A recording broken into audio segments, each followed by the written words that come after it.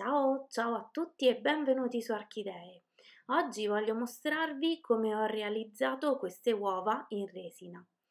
Per crearle ho fatto il mio calco con la gomma siliconica liquida e sono partita da un uovo in marmo come modello, quindi un modello di partenza già bello liscio e lucido. E se volete creare il calco di un la, il procedimento è lo stesso che si usa per creare il calco delle sfere. E qui su YouTube c'è già un video che mostra come creare il calco eh, delle sfere in resina. Quindi vi metterò nell'info box il link al video che vi sto dicendo poi se volete vedere come si utilizza eh, la gomma siliconica liquida, esattamente la stessa che ho utilizzato per fare questo calco, vi metterò anche il link che mostra l'utilizzo di quella gomma. Per quanto riguarda tutti i materiali utilizzati, cercherò di mettervi dove disponibili tutti i link ehm, di affiliazione di Amazon e li troverete nell'info box, così se vorrete avrete eh, il vostro riferimento per l'acquisto. Comunque, per prima cosa ho preparato la resina per riempire eh, questo stampo eh, ho deciso di fare eh, nel primo caso due colate e mm, nel secondo caso tre colate. Il mio tentativo è stato fatto perché quando vado a riempire delle forme troppo profonde molto spesso si creano una serie di bollicine eh, che sono un po' antiestetiche e, e sono difficili da recuperare con la carteggiatura finale. Eh, purtroppo il tentativo non è andato a buon fine, ho sicuramente avuto meno bollicine eh, che negli altri casi delle colate che avevo effettuato e, ehm, e poi man mano nel video vi spiegherò anche quali sono i motivi. Allora, prima di tutto, eh, nel primo uovo che ho riempito prima a metà e poi una seconda metà dopo sei ore eh, sono andata a inserire delle piume. Le piume ve le ho fatte vedere anche in un tutorial di un paio d'anni fa quando si inseriscono nella resina portano inevitabilmente con loro eh, una certa quantità di aria che si va a incastrare in tutte le piccolissime parti di cui sono composte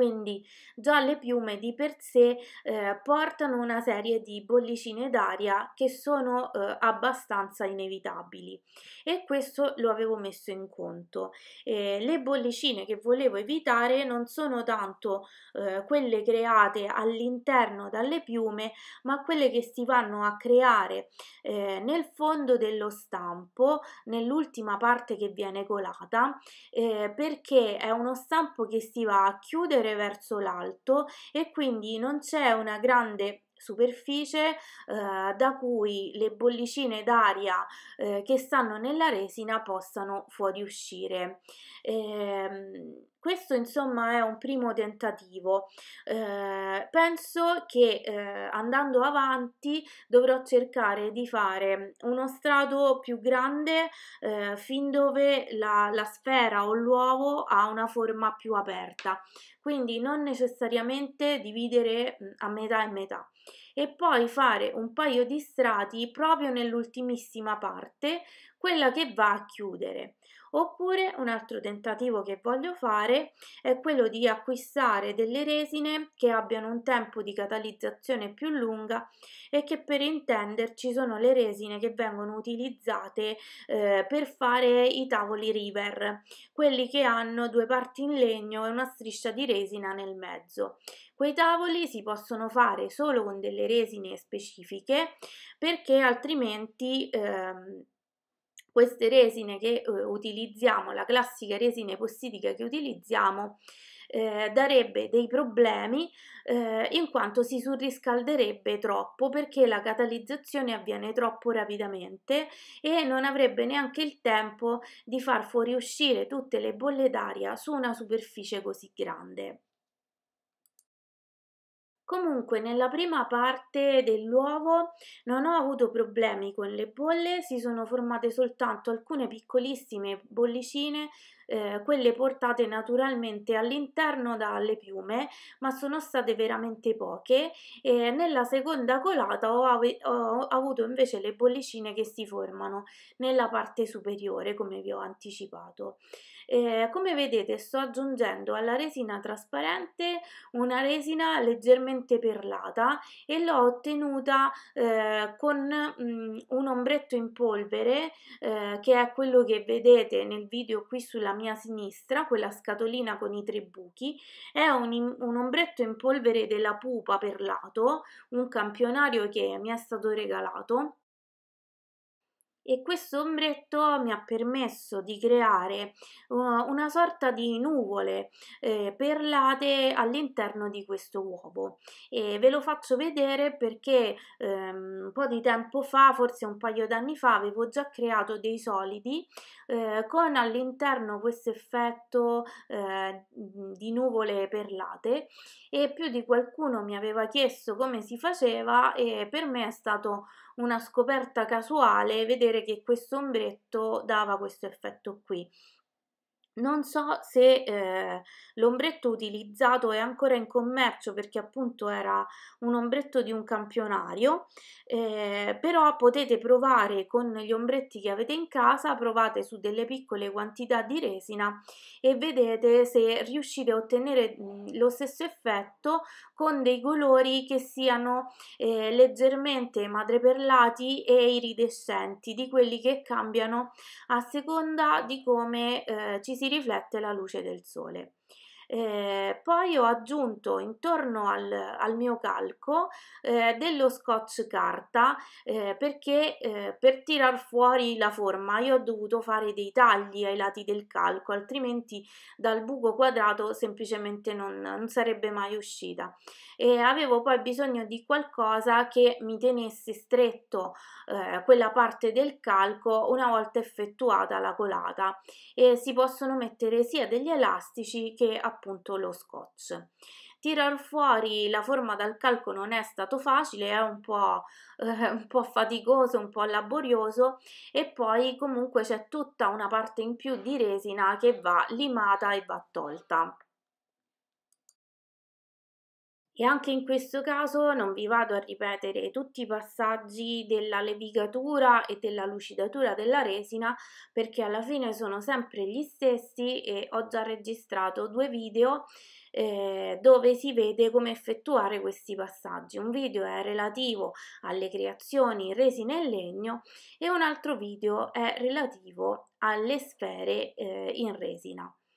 Eh, la prima parte si può togliere benissimo con le forbici, poi c'è tutta una parte che si può togliere con le lime per il gel unghie e poi eh, potete procedere con le carte vetrate. Eh, vi riassumo velocemente le carte vetrate che abitualmente utilizzo, eh, sono quelle da carrozziere, quindi quelle che si possono utilizzare in acqua e sono la 400, la 600 600, la 800, la 1000 e a volte la 1500. Dopodiché eh, vado a utilizzare anche eh, una pasta, una pasta eh, abrasiva lucidante che si chiama crema iosso e come al solito vi metto il link informativo qui nell'info box.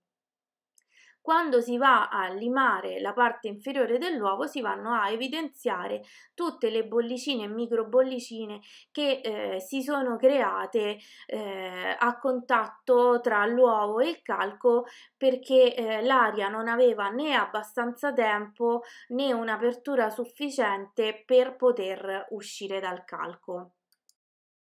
La levigatura successiva quindi vi permetterà anche eh, di togliere una buona parte di queste bollicine, ovvero quelle più superficiali, poi magari quelle più grandi le potrete riempire eh, con qualche goccia di resina UV, ma ricordatevi che poi dovete levigare di nuovo, eh, quindi è una cosa che va fatta prima della levigatura finale. Eh, e poi l'uovo va pulito bene perché tutta la polvere della levigatura si va a posizionare in queste micro bollicine e le enfatizza anche molto di più. Eh, quindi il mio consiglio è quello di pulirlo con una spazzolina eh, di quelle per i piatti e con il detersivo per i piatti e vedrete che poi alla fine del lavoro eh, riuscirete a minimizzare l'effetto delle bollicine. Allora, eh, qui vedete invece la prima parte della colata eh, per il mio secondo uovo. Anche in questo uovo mi sono voluta complicare un po' la vita e sono andata a inserire nella prima parte della colata eh, alcuni fiori secchi tridimensionali che vengono dal Trentino Alto Adige e sono una specie di cardi, sono molto simili ai cardi ma non so esattamente il loro nome. Eh, mi erano piaciuti molto e li avevo lasciati a essiccare eh, all'aria, eh, quindi senza metterli sotto pressa. E insieme ci sono anche altri fiori molto comuni, eh,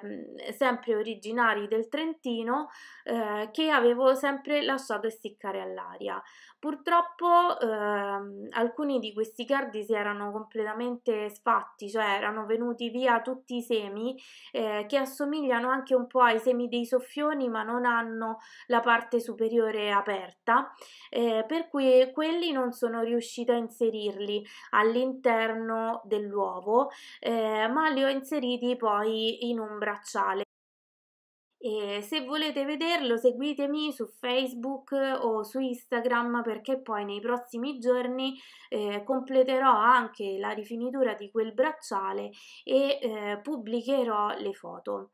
Eh, comunque, allora, nella prima parte di questo uovo ho messo esclusivamente i fiori secchi, eh, poi andando avanti eh, nella seconda e nella terza colata sono andata ad aggiungere ad alcun, eh, alcuni brillantini. Eh, l'errore che ho fatto è stato quello di aggiungere i brillantini direttamente nel calco, eh, per cui in alcuni punti si vedono un po' gli strati, probabilmente è una fissazione eh, solo mia quella di vedere questi errori, non è detto che poi eh, siano visibili a tutti, eh, ma eh, avrei fatto meglio ad introdurre i brillantini nella resina e poi a effettuare la colata. Questa è la seconda colata nello stesso calco, come vedete ho introdotto altri fiori, anche questi fiori eh, come vi dicevo mi vanno un po' a complicare la vita perché essendo fatti di tantissime piccole parti possono portare con sé delle bollicine d'aria. Visto che la forma è tridimensionale non le vedrò mai quindi eh, non riuscirò a toglierle in tempo e devo sperare che eh, vadano su da sole durante la catalizzazione. Eh, questo è successo per le prime due parti della colata e come al solito non è successo per la terza parte della colata che probabilmente ho fatto troppo alta. Quindi in definitiva il mio consiglio è quello che quando si tratta di forme tridimensionali lasciatevi una terza colata di uno spessore di al massimo un centimetro e forse in quel modo riuscirete ad evitare tutte le bolle. Io proverò ancora e ve lo farò sapere nei prossimi video. Eh, nell'ultima parte di questa colata eh, non ho girato il video perché mi sembrava un po' ripetitivo, comunque ho aggiunto dei brillantini e dei pezzettini di corteccia di, di alberi e anche qui è stato un po' difficile tirarlo fuori, mi sono fatta dare una mano da mia figlia e, eh, e poi c'è stata anche in questo caso tutta la parte della carteggiatura. L'introduzione dei pezzettini di corteccia mi ha portato ad avere ancora più problemi eh, perché si sono create ancora più bolle d'aria eh, che nel precedente uovo. Eh, quindi le ho dovute un po' riempire con la resina UV almeno le più grandi eh, e eh, nota per la prossima volta eh, non credo che inserirò la corteccia nello strato finale. È meglio lasciarlo piuttosto liscio ehm, così eh, che l'aria possa fuoriuscire più facilmente perché i pezzettini di corteccia hanno creato un ulteriore ostacolo. Comunque spero che anche se non sono perfetti questi esperimenti con la resina vi stiano piacendo,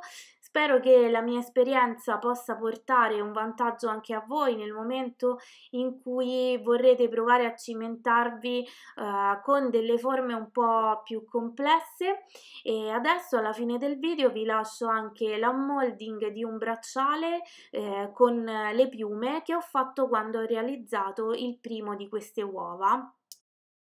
Non so se vi ricordate, ma un paio di settimane fa ho pubblicato il video in cui ho realizzato questo calco e il primo bracciale all'interno di questo calco. In quell'esperienza avevo eh, creato il bracciale eh, in un'unica colata e infatti eh, la parte superiore era piena di imperfezioni e bolle. Stavolta, visto che l'ho fatto quando facevo anche l'uovo, lo ho realizzato in due colate e quindi sono venute molte meno bolle. Poi questo è meno profondo dell'uovo e la superficie da cui può fuoriuscire la resina è maggiore in percentuale e quindi eh, sono già molto soddisfatta perché eh, rispetto appunto al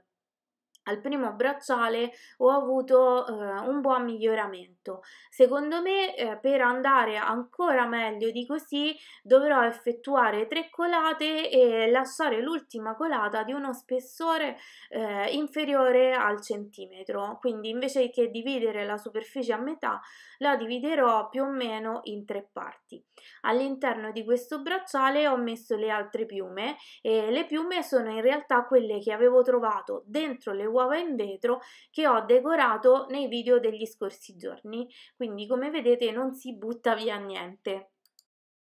Se il video vi è piaciuto non dimenticate di mettere il pollice su e di iscrivervi al canale per non perdere i prossimi aggiornamenti. E se volete darmi una mano condividete questo video su Facebook.